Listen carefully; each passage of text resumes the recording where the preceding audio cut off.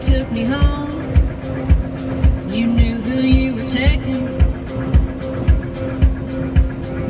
Not some Debbie debutante standing in an apron, frying up your bacon.